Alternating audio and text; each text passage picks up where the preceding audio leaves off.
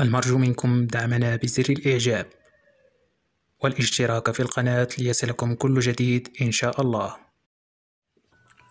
استدعت لجنة التعليم والشؤون الثقافية والإجتماعية بمجلس المستشارين وزير التربية الوطنية سعيد أمزازي للمثول أمامها بناء على طلبات عدة فرق برلمانية تريد عقد اجتماع طارئ مع الوزير ليشرح الصيغة المجهولة التي وضعها للموسم الدراسي المقبل.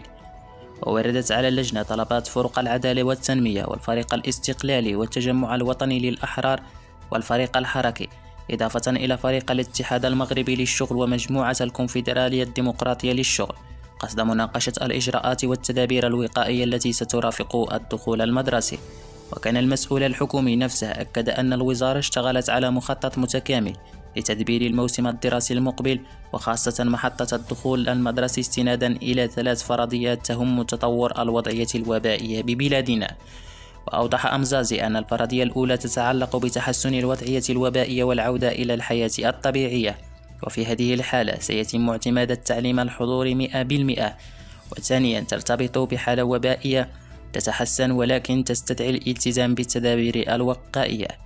حيث يتم تطبيق التعليم بالتناوب بين الحضور والتعليم الذاتي. أما الفرضية الثالثة فتتعلق بتفاقم الحالة الوبائية ويتم في هذه الوضعية الاحتفاظ بالتعليم عن بعد فقط. دمتم سالمين ونشكركم على حسن الإنصات والمتابعة.